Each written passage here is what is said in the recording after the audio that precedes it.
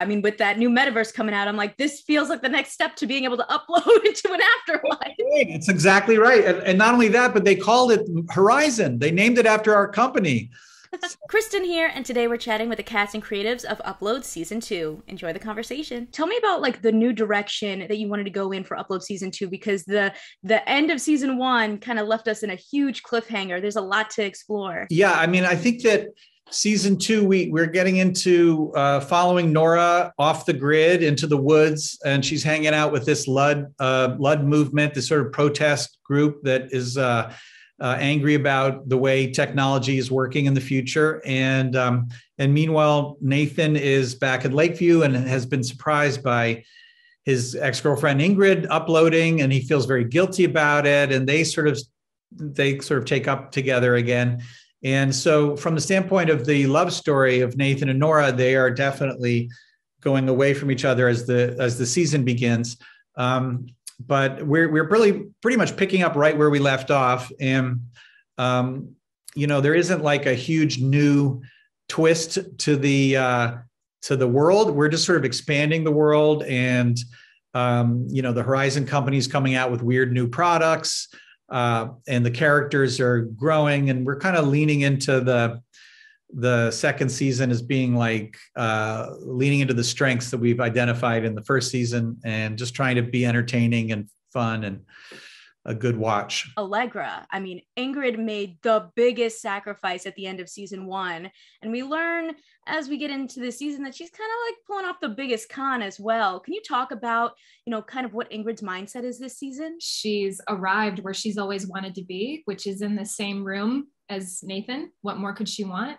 But such is the case with life. Sometimes when you get what you want, you're still left wanting. And um, it doesn't solve her problem, right? So the problem in her relationship is not um, physical distance, it's uh, compatibility, emotional distance, like all these things that she maybe took for granted or never really realized.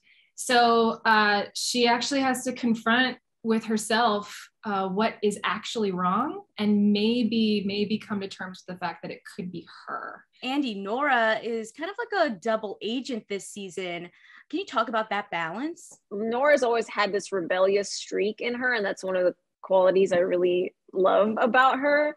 And and this season i think the change is why she's doing it.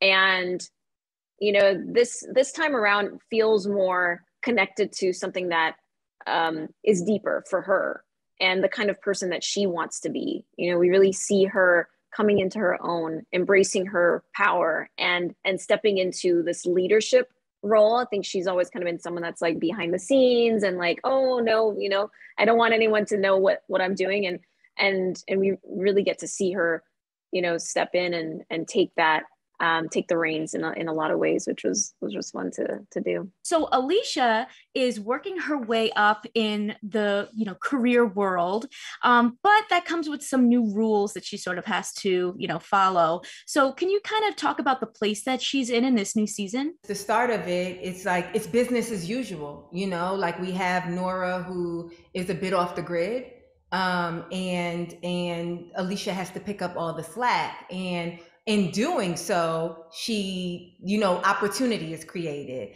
Um, but with opportunity comes some sacrifices, it comes some harsh truths that she has to deal with. And ultimately, it comes with like a choice that she has to make, right? And a choice that affects other people, affects Luke, affects Nora. Um, and I think that, you know, we, we, we kind of shine a light or, or, or poke a little bit of fun at like corporations and some of like the nastiness um, that exists, you know, in corporation by way of uh, capitalism, right? And so the the more Aleesha kind of like navigates work, the more she discovers, and it's kind of like, what does she do with that information as well? So it season two gets kind of tricky. You know, it's not just all fun and games for Aleesha. She's she's not just like a, a, a commenting bystander anymore. You know. And now Luke is, uh, you know, we've really seen him solidified as sort of like that best friend and that confidant for Nathan. Um, and so going into season two, uh, what are the kind of the ups and downs that your character is going through and like kind of the mindset that he's in? Well, he's very much a commenting bystander. No, I, uh, he, he starts down.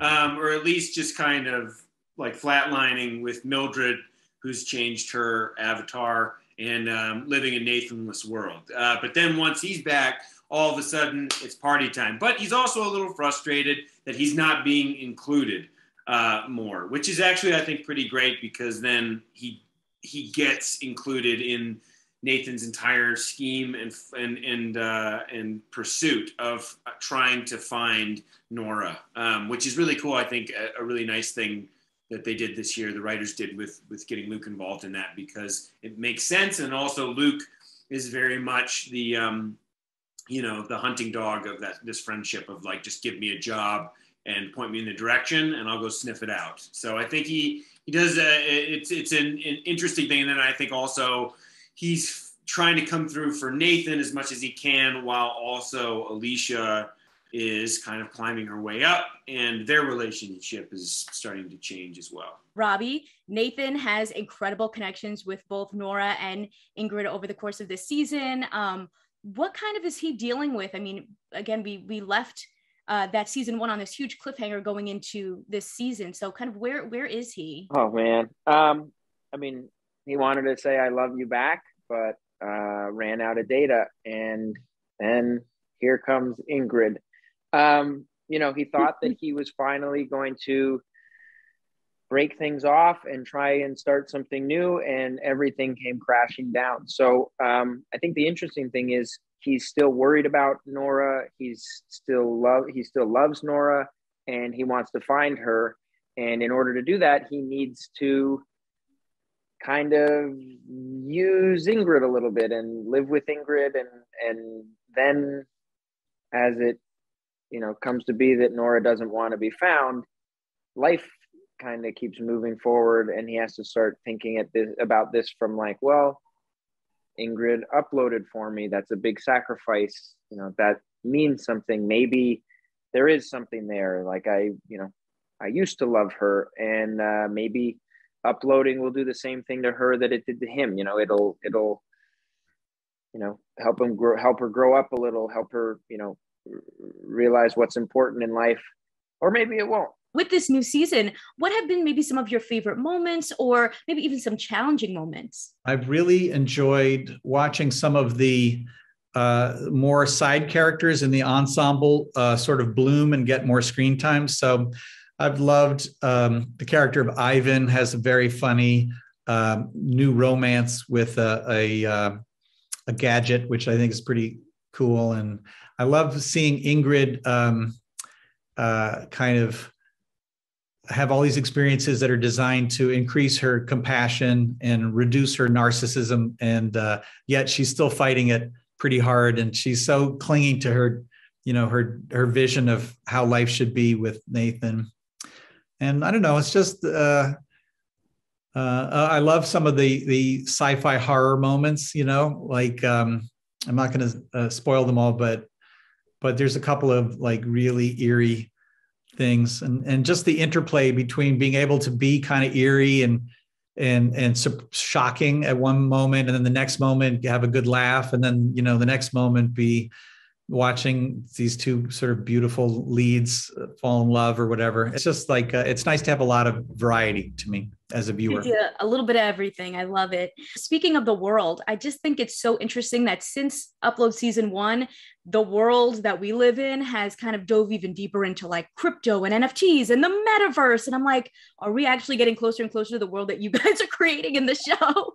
So what does that feel like to see that? And have you uh, have any of those new advances influenced you know you guys in your writing process? Constantly yeah. We're we're doing lots of research. Um, you know we're always uh, exchanging the latest um, futurism article or tech advance and trying to figure out okay if this is actually going to happen and we're all going to be doing this and we're all going to be you know flying drones to work or whatever what what what could go wrong? What could you know what could be a funny unexpected twist. Uh, how's that going to change things? What are you know if people are actually giving each other stars on dating apps how, are they going to behave differently? You know what i mean? It's like it, it's definitely fun to imagine and um, but they, it is catching up with us. But i think that's okay because you know the way we're looking at it is uh, we're only 15 years in the future and uh, you know, we want it to be super fun for people watching it today as they are assaulted with constant, you know, new technology being advertised as being amazing. And, you know, it's good to have like a slight skepticism and to be able to say, oh, I saw how that played out. They didn't play out so well, you know, on the show. So, yeah. how people are going to look at the show in 20 years. It may be that they look back and they go, well, they got everything wrong, those idiots, you know, but but hopefully they'll enjoy the the character dynamics and uh, and not worry so much. Absolutely. I don't know. I mean, with that new metaverse coming out, I'm like, this feels like the next step to being able to upload into an afterlife. It's exactly right. And, and not only that, but they called it Horizon. They named it after our company. So get, a, get, get a check from them. Yeah. that metaverse money. We feel like the world is copying our show. So, uh, wow. I think what's funny about it to me is that like we, you know, it's kind of an it's all like borderline idiocracy when it comes to upload, and that it's not utopian, it's not dystopian, it's somewhere in the middle, which makes it feel like a reality, um, which I think is is purposeful and, and interesting that, that that Greg and the writers have done that. But also, it just kind of feels like everything is uh, like the technology is ushered in with little understanding of like what it does and people just kind of willfully dismiss it. You know they sign away their contracts and all that stuff. And it's i think crypto is so interesting because everyone i talk to who does it does not understand it at all. Or they claim to understand it but they re- it's like almost like with an, an arrogance of like how oh i understand it. I lost fifteen thousand dollars, but I get what it does. You know, like it, it's it's it's just interesting in that people just kind of willfully dismiss that uh, dismiss what what it's capable of doing and and i think upload you kind of see how bad that can get yeah and you know what i feel like when people like watch upload when they watched upload season one it was like it made them feel it made them feel good and i think part of some of real life being reflected on the show with, without us even knowing. It's like we we we we did the season in 2019, right, Kevin? And we start the pilot off, which we shot in 2018 with masks, right? And so when it premiered at at the very beginning of a pandemic and we're in this new world, it's like, oh, okay, well, if today we're in masks and upload is reflective 20, 30 something, and that's a, that's not a bad world to live in. Do you get what I'm saying? Like it's that's not a bad future reality to live in. And so I think that and I may be a little bit ambitious saying this, I think we're providing people with hope. You guys are telling the future.